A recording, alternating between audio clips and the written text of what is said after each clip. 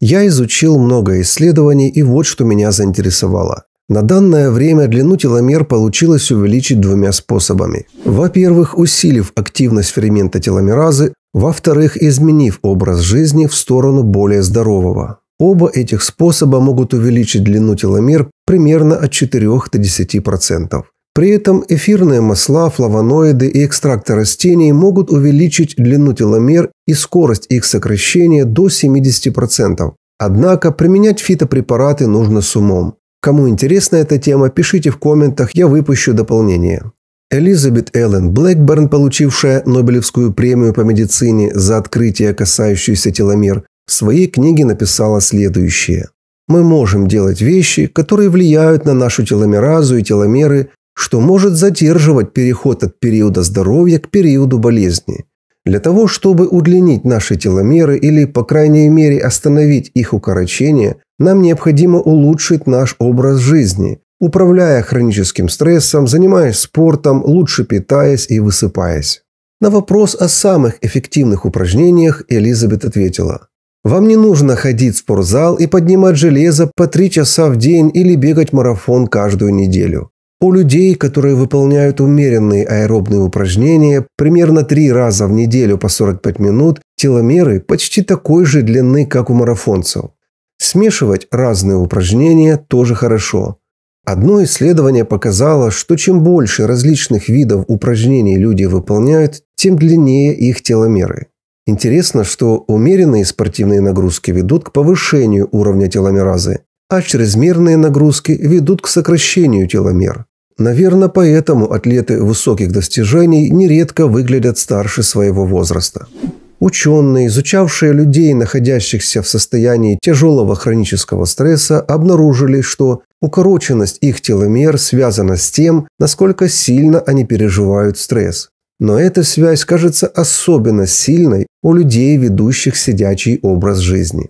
В одном исследовании было замечено, что даже 10-15 минут легких упражнений в день смягчают эффект стресса. А вообще проблема не в стрессе, а в том, как на него реагируют. Хорошая новость в том, что мы можем научиться по-другому реагировать на стресс и направлять высвобожденную энергию не на разрушение своего тела, а на преодоление причин или последствий стрессового события. Относительно теломеросберегающей диеты ученые предлагают сбалансированное питание с большим количеством цельных продуктов, таких как овощи, фрукты и зерновые. Учитывая низкое качество большинства продуктов питания, некоторым людям придется принимать пищевые добавки. Универсального списка добавок не может быть, так как у каждого человека свои дефициты. Но что однозначно полезно для всех, это наличие в ежедневном рационе достаточного количества жирных кислот омега-3. Было доказано, что омега-3 действительно способствует лучшему поддержанию теломер. Нужная форма омега-3 содержится в основном в жирной рыбе. Если у вас нет доступа к такой рыбе, тогда употребляйте добавки с омега-3, но только хорошего качества. Есть некоторые данные о том, что витамин D увеличивает теломеры, но исследования неполные. Несмотря на это, производители добавок активно рекламируют витамин D как средство по удлинению теломер. Но на самом деле это маркетинговый трюк. Имейте это в виду.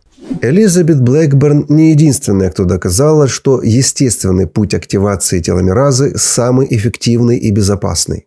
В журнале Lancet Онкология были опубликованы результаты исследования Калифорнийского университета в Сан-Франциско. Исследователи показали, что теломеры могут удлиняться очень простым способом, без всяких биохимических воздействий, всего лишь изменением образа жизни. Это правильная диета, физическая активность, контроль стресса и социальная поддержка. Люди часто думают, у меня плохие гены, и я ничего не могу с этим поделать, говорит Дин Орниш, профессор клинической медицины, руководитель исследования. Но наша работа показала, что теломеры могут удлиняться, когда люди просто меняют свой образ жизни. А длинные теломеры означают меньше болезней и дольше жизнь. Течение пяти лет специалисты наблюдали за 35 мужчинами с локализованной раковой опухолью простаты, находившейся на ранней стадии. В ходе исследования у них измеряли длину теломер и оценивали активность теломеразы. 10% из 35 изменили образ жизни. Они включили в свой рацион много овощей и фруктов, цельнозерновые продукты, уменьшили количество жиров и сахара. Еще они делали физические упражнения или просто ходили не менее 30 минут в день. Также приняли меры, чтобы научиться контролировать стресс, чему помогала медитация. Пациенты также посещали сеансы групповой терапии, где получали социальную поддержку. Другие 25 человек не внесли никаких изменений в свой образ жизни. Результаты удивили даже исследователей. В группе пациентов, перешедших на здоровый образ жизни, за 5 лет теломеры удлинились в среднем на 10%. Причем, чем больше изменений произошло в образе жизни, тем длиннее стали теломеры. В то же время в контрольной группе пациентов теломеры за 5 лет жизни наоборот укоротились примерно на 3%. Ученые считают, что этот феномен не ограничивается только пациентами с раком простаты, но должен распространяться и на всех остальных людей. А вот вирусные и инфекционные заболевания укорачивают наши теломеры. Депрессия и просто плохое настроение тоже работают против наших теломер. В общем, если обобщить выводы разных исследований, то вот что получилось. У людей, ведущих здоровый образ жизни и имеющих позитивное мышление, теломеры либо равны норме, либо выше нормы, хотя они все равно сокращаются. Но в долгосрочной перспективе такие люди все равно проживут дольше остальных и с минимумом старческих болезней, а кто-то и вообще без болезней. Вот так, друзья. А что вы думаете об открытиях ученых касательно теломеразы и теломеров? Не стесняйтесь оставить комментарий.